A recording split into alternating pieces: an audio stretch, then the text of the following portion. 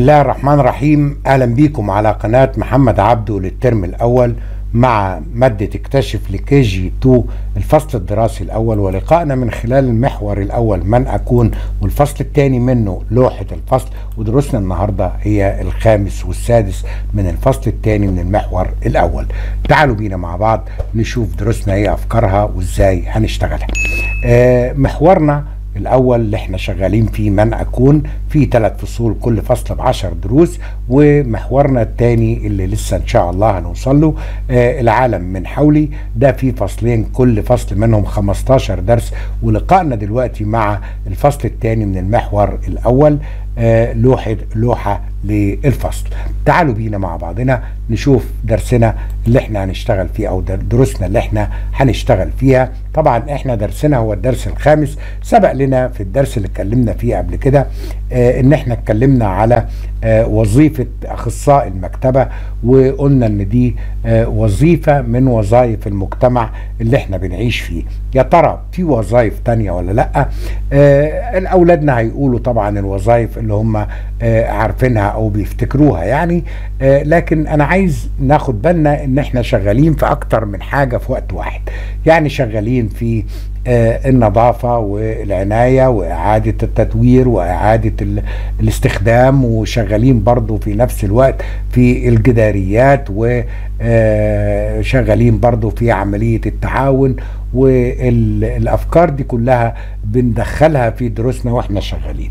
فالصفحة بتاعتنا الأولانية بتتكلم على إعرف المهن آه وبدأ بالطبيب. هو طبعا هنا مجرد إن الأولاد يشوفوا بس إيه اللي قدامهم اللي قدامنا ده طبيب. طب إيه الأداة اللي هو بيستخدمها؟ ممكن نقول الأشعة. آه طبعا حاجات تانية كتير لكن هو جايب لهم حاجة واحدة بسيطة اللي هي الأشعة. وزي ما إحنا شايفين الأشعة دي بتظهر آه صور لجسم الإنسان. من الداخل سواء إذا كان يعني يد أو قدم أو ظهر أو بطن أو أي حاجة من جسم الإنسان. طب برضو في عندنا الفلاح اللي بيزرع لنا النباتات. إيه ترى الأداة اللي بيستخدمها؟ زي ما إحنا شايفين قدامنا هي جرار. طبعا أدواته كتير اتكلمنا عليها قبل كده وخدناها في جي 1 لكن هو بيركز هنا على صورة الجرار اللي بيستخدمه الفلاح بتاعنا في حرث الأرض بتاعته أو نقل المحاصيل بتاعته. بعد كده بيتكلم على العالم والعلماء إن هم بيجروا تجارب والتجارب بتكون من خلال الدورق فالدورق هو يعني اللي بيمثل الأداة وزي ما قلنا في حاجات تانية كتيرة مخابير زجاجية في حاجات من دي كتير. لكن زي ما إحنا شايفين كده الأشكال اللي إحنا شايفينها في الأداة بتاعتنا اللي هي الدورق بتاعنا. برضه بيتكلم على رجل المطافي وإن رجل المطافي بيستخدم ماسك في إيده إيه؟ ماسك في إيده خرطوم. عارفين إيه الخرطوم بيعمل إيه أو إيه فايدته؟ بالظبط كده. بيندفع فيه المية داخل الخرطوم عشان يطفي بيه الحرائق. دي الجزئية آه التانية أو الصفحة التانية بتاعتنا. طيب. تعالوا نشوف برضو صفحة تاني اللي هي المؤلف اللي بيألف القصص والكتب وطبعا ده أدواته بتبقى يا إما القلم يا إما الكراسة اللي بيكتب فيها أو القصة بتاعته اللي هو بيكتبها. برضو الخباز في المخبز عندنا بيستخدم مرقاق الخبز اللي هو بيفردوا بيه العجين يعني أو مرقاق العجين أو اللي إحنا بنقول عليه بالبلدي كده النشابه آه فدي آه الأداة بتاعته اللي بيستخدمها. اذا هنا إحنا شفنا دلوقتي من خلال الثلاث صور بتوعنا شفنا آه ست وظائف آه مهمة في المجتمع بتاعنا. الصفحة اللي بعد كده بتقول لي الغاز المهن أعد تجميع الصور بتاعتنا. يعني إيه؟ يعني إحنا مطلوب مننا إن إحنا نمسك المقص ونقص أو هيساعدنا المعلم في القص بتاعها. هنقص على حسب النقط المتنقطة بتاعتنا دي وبعد كده هنقطع دي اسمها أحجية. آه فهنقطعها هنقطع الأحجية بتاعتنا وبعدين هنجمع قطع الأحجية اللي إحنا عايزينها. طب اذا إحنا هنقطع دي خلاص هتظهر لنا بالشكل ده أربع صور قدامنا. هنبدأ نسحب صورة صورة ونفكر كل صورة آه هنحطها فين. نفرض هنحط الصورة دي هنا مثلا ونيجي نحط الصورة دي طبعا مش هتنفع هنا لكن ممكن تنفع هنا مش كده ولا إيه؟ آه فإحنا بنظبط الصور بتاعتنا زي ما قطعناها بالظبط وبعدين دي رأس الراجل يبقى هجمعها مع الرأس بتاعتي بالشكل ده. وده الجزء بتاع آه باقي المزارع اللي بيزرع.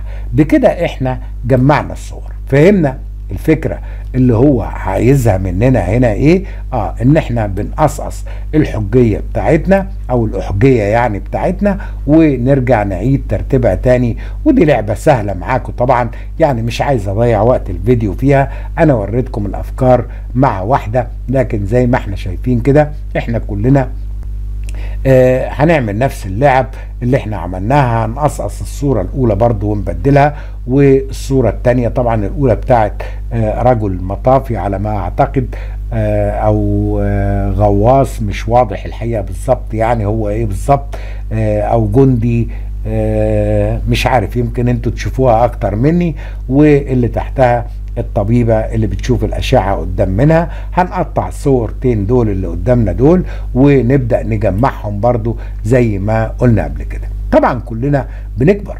وهيبقى عندنا وظائف في يوم ما اتعلمنا إن إحنا كلنا مميزين. يعني يعني كلنا عندنا أفكار جميلة. التفتوا كده لزميلكم المجاور وقولوا له إيه الأشياء المفضلة عندكم وإيه الوظيفة اللي إنتوا تفضلوا إن إنتوا تكونوا فيها في المستقبل. ده هيدفعنا إلى إن إحنا نعمل حاجة مهمة جدا في فصلنا آه عشان كده بنقول إن إحنا بينتابنا الفضول والفضول ده بينتابنا عشان نعرف المزيد من الوظائف يعني اللي إحنا بنحبها طبعا. آه يعني أنا هقول حاجة كده هنعملها في الفصل. إيه هي؟ هبدأ أقول آه تعال نخفي دي شوية دلوقتي وبعدين أوريكم إزاي بتتعمل. هقول مثلا آه اللي يحب إن هو يكون خباز يرفع إيده لفوق هيرفع أولادنا إيديهم لفوق هنطلعهم بره وهنعملهم صف كده واقف كده بالمنظر ده زي ما شفت الصورة المتلونة نوقفهم صف كده. وبعدين مين اللي عايز يكون مؤلف؟ برضه هنشوف كام واحد ونعملهم صف جنبهم تاني وكام عالم وهكذا وبعدين كام رجل إطفاء وكام فلاح وكام آه طبيب. ونبدأ نشوف وهم واقفين في صفوف آه شكلهم إيه. ونبدأ نسأل آه مين العدد الأكبر آه مين العدد الأقل؟ يعني شوية أسئلة كده آه تكون مفيدة لتلاميذنا عشان من خلالها هنعمل تمثيل بياني اللي إحنا عملناه بأطفالنا بتلاميذنا داخل الفصل وقفناهم الصفوف اللي هي بتمثل عدد كل واحدة منها. لاحظ إن إحنا في الجدول بتاعنا بنكتب من تحت الوظائف بتاعتنا زي ما إحنا شايفين ست وظائف اخترناها الخباز والمؤلف والعالم ورجال الإطفاء والفلاح والطبيب وسألنا أولادنا اللي بيحبوا يكونوا أو يشتغلوا في الوظائف دي ووقفوا صفوف فلقينا مثلا عدد الصف بتاع الخباز كانوا تسعة عايزين إن هم يكونوا خباز. بتاعت مؤلف لقينا اتنين بس وبتاعت عالم لقينا أربعة. رجال الأطفاء لقينا تمانية الفلاح لقينا ستة الطبيب لقينا تلاتة. طبعا دي بتختلف يعني أنا بدي, بدي افتراضات لكن أنت بداخل الفصل هتشوف أو حبايبنا التلاميذ هيشوفوا العدد بتاع كل واحدة منهم. وبعدين يبتدوا في ورقة مربعات زي اللي قدامنا دي يبتدوا يلونوا. الخباز كام؟ واحد تسعة. يبقى نعمل تسع مربعات فوق بعض فوق الخباز نلونهم ونعد وإحنا بنلون لغاية ما نوصل للتسعة بتوعنا. طيب برضو بعد كده المؤلف كام؟ واحد اتنين. يبقى فوق كلمة المؤلف اللي هي مكتوب تحتها اتنين دي هنلون اتنين بلون مختلف. تمام كده؟ طيب كلمة عالم كم؟ واحد أربعة. هنلون أربع مربعات زي ما إحنا شايفين. طبعا الألوان بتكون مختلفة أجمل وبتدي شكل للرسم بتاعك. رجال الأطفاء تمانية نفس الحكاية. هعملها برضو تمانية. وبعدين الفلاح كانوا ستة. هنلون الستة بتوعنا. وبعدين الطبيب كان تلاتة. عايزين يبقوا أطباء. فهنختار التلاتة ونلونها بالشكل ده. زي ما أنتم ملاحظين الألوان بتاعتنا مختلفة. طبعا إحنا يعني عشان ما خدناش الأعداد كلها فإحنا هنبتدي نسأل في الأعداد الصغيرة. يعني مثلا نقول عدد الأطباء كان كام؟ بص كده قدامك وافتكر كده ممكن تلمحهم من الرسم بتاعنا وهنعرفهم اللي هم كام؟ ثلاثة يبقى اكتب له عدد الأطباء كام؟ ثلاثة اكتب هنا ثلاثة ويا ريت نطلع الأصابع الثلاثة عشان نبقى فاكرين. طب كم عدد العلماء؟ ندور على كلمة عالم ونستهج حروفها ونعرفها. اهي كام؟ أربعة. يبقى أكتب له العلماء أربعة. طب كم عدد المؤلفين؟ اللي هو مفردها مؤلف. آه قلنا لقينا اتنين بس فهنكتب له اتنين. طب بيقول لي ارسم دائرة حوالين المهنة اللي بيرغب أكتر التلاميذ في إن هم يشتغلوا فيها في المستقبل. انت إحنا شايفين أكتر عدد فين حتة. شاطر يقول لي في الأعداد اللي قدامنا دي أكتر عدد هو كام؟ بالظبط كده هو تسعة. يعني إذا أكتر التلاميذ اختاروا العدد بتاعنا اللي هو تسعة.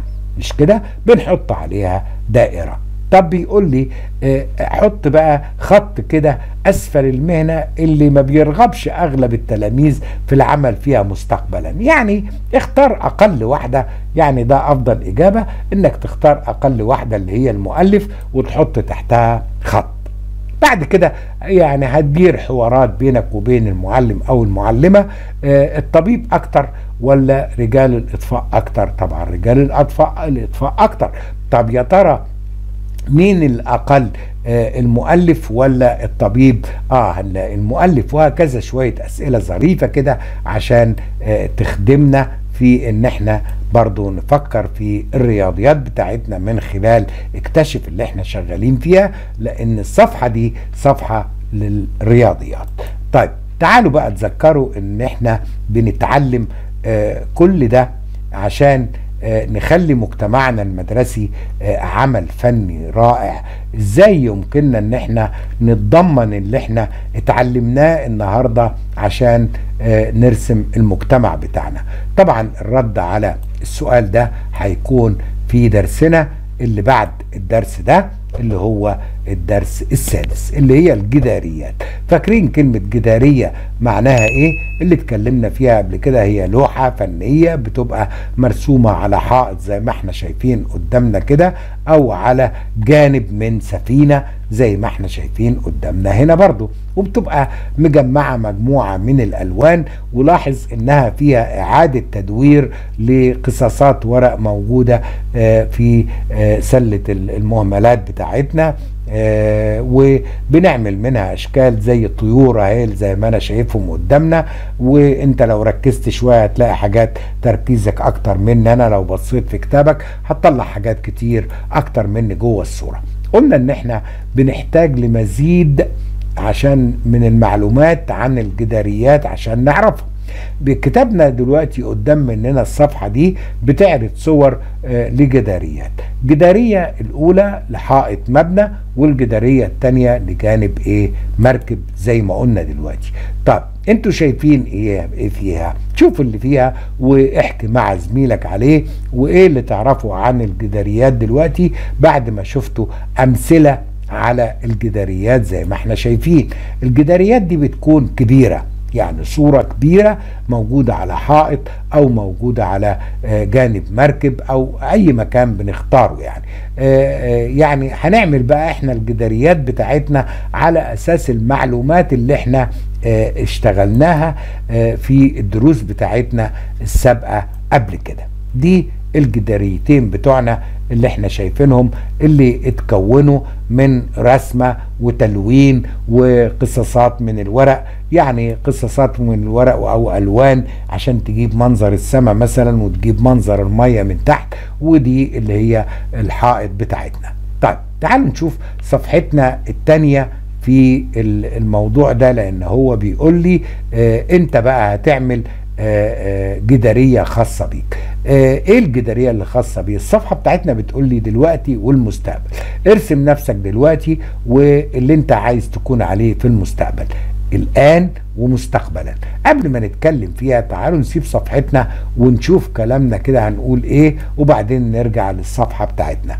في الجدارية بتاعتنا هنضيف كل واحد مننا هيضيف صورة له في الأولانية صورته الآن وصورته بعد كده في المستقبل. تعالوا نفكر في الحاضر اللي إحنا موجودين فيه المستقبل يعني ونحط في اعتبارنا إن إحنا اللي اتعلمناه من بداية العام الدراسي. يعني أنت هترسم نفسك إيه لون عينيك؟ إيه لون شعرك؟ إيه الملابس اللي أنت بترتديها؟ إيه النشاط اللي بتمثله آه في صورتك؟ ده كلام جميل. برضو التفت لزميلك المجاور ووصف له آه آه يعني جسمه أو شكله وهو يوصف شكلك. يعني عشان تزيدوا معلومات مع بعضكم. دلوقتي تعالوا نفكر بقى في المستقبل. لما تصبحوا بالغين وتكبروا وتشتغلوا في وظائف يا ترى هتكونوا مختلفين طبعا. يا ترى إزاي هتكونوا مختلفين؟ إيه اللي هيفضل على حاله فيكم؟ هل هيكون شعركم زي ما هو مثلا؟ هل هتكون عيونكم زي ما هي؟ هل هتبقوا بالطول نفسه؟ ونسمع منهم الأجوبة. ممكن تلميذ يقول لي العين مش هتتغير لكن الطول هيتغير لأن هكون أطول وهكذا أفكار زي كده. لما تيجي ترسموا نفسكم في المستقبل آه هترسموا نفسكم ومعاكم الأداة اللي أنتوا آه آه في الوظيفة بتاعتها يعني. اتذكروا إن إحنا التقينا بأخصائية المكتبة منذ بضعة أيام في دروس فاتت يعني الدرس اللي فات تقريبا كان الثالث تقريبا. أخصائية المكتبة بتستخدم الكتب الأداة بتاعتها الكتب باعتبارها هي أدوات في وظيفتها. تعالوا كده نعيد الأدوات اللي إحنا بنستخدمها في الوظائف التانية في الصفحة بتاعة الدرس اللي فات بتاعة الطبيب ورجل الإطفاء والحاجات دي اللي شفناها. وراجع الصفحات كده هترسم أداتك برضو لما تيجي ترسم صورة لمستقبلك اللي انت هتكون فيه. طيب دي كده أهو. كانت الجزئية بتاعتنا. تعالوا برضو نشوف إحنا اتحدثنا عن نفسنا دلوقتي وفي المستقبل. حان الوقت عشان نجسد فكرنا في الجدارية اللي إحنا هنرسمها. هنستخدم اولا قلم رصاص عشان نحدد المخطط الخارجي بتاعنا. ما تنسوش إن أنتوا تضيفوا الأداة في وظائف المستقبل بتاعتكم. ده كان الجزء اللي اتكلمنا فيه اللي هو خارج الصفحة. تعالوا بقى ندخل على صفحتنا ونشوف هنرسم إيه. انت دلوقتي تلميذ والتلميذ محتاج كتاب عشان يذاكر فيه مش كده ولا لأ؟ كل مرة بنرسم صورة الولد المرة دي بقى بنت حبيبتي شاطرة بترسم الصورة بتاعتها وبتصممها بالجدارية بورق مقصقص تقصقصه من القمامة. اللي طلعته وعملته أشكال زي ما إحنا شايفين قدامنا نجوم ودواير وبتاع ده أشكال لها تمن أضلاع كده وحاجات كده ظريفة عملتها وهي ماسكة رسمت نفسها وهي ماسكة الكتاب والشنطة بتاعتها جنبها. طب يا حبيبتي انت عايزة تكوني إيه في المستقبل؟ أنا عايزة أكون دكتورة. جميل جدا. يلا كده ورينا هترسمي الدكتورة إزاي وهتجمعي حوالين منك عشان تبقى جدارية إزاي. آه رسمة نفسها وهي لما كبرت آه طبعا آه نظرها ضعف من المذاكرة فلبست نظارة وعشان هي طبيبة الأداة بتاعتها هي السماعة وحوالين منها آه كتب ولوح وحاجات معروضة زي ما إحنا شايفين اتصممت وصممتها حوالين منها ودي جدارية بتاعتها دلوقتي وفي المستقبل. تمام كلام جميل. انظروا بقى للصور دي لأن إحنا هنقصقص الصور دي وهنجمعها مع بعضنا كلنا ونشوف المجتمع الجميل بتاعنا إزاي آه بنبدو متشابهين في الصور ولا مختلفين. يعني هنشوف صورنا ونشوف الفرق بينهم ونتفرج عليهم سواء علقناهم على الحائط أو آه حطيناهم على المنابط بتاعتنا ومرينا نتفرج عليهم. آه أنتوا كده ساعدتم في إن أنتوا تحافظوا على نظافة المجتمع بتاعنا عن طريق إن أنتوا استخدمتوا قطع ممكن نعيد تصميمها في الفنون النهارده. ودلوقتي إحنا بنعمل على تنظيف الفصل بعد ما بننتهي من نشاط الفنون. نظافة الفصل ده شيء مهم جدا لأن ده أيضا بيندرج ضمن رعاية المجتمع بتاعنا. تمام كده حبايبي؟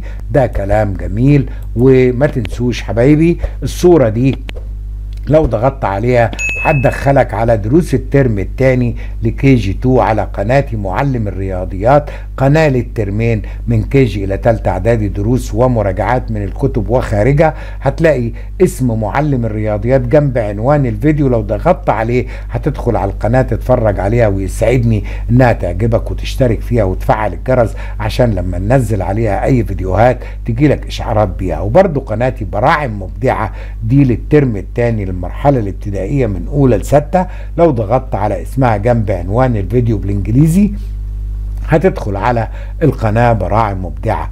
آه برضو هنا لو الصورة اللي هنا لو ضغطت عليها هتدخل على دروسنا اللي إحنا شغالين فيها دي. اكتشف للترم الأول ومش هتحتاج إنك تقول الدرس الفلاني اوصل له إزاي لأنك لو ضغطت على الصورة دي هتتفتح معاك الدروس بالترتيب وتشوف الدرس اللي انت عايزه. ده بالإضافة لإن في فيديوهات جميلة موجودة على قناتي مبدعون.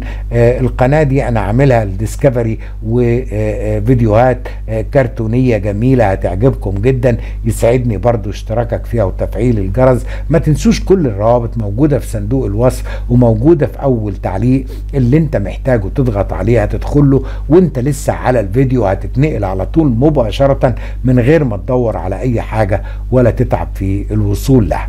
آه بكده يكون وصلنا لنهاية لقائنا مع درسنا مع أطيب تمنياتي بالتوفيق وإلى اللقاء مع درس قادم. والسلام عليكم ورحمة الله وبركاته.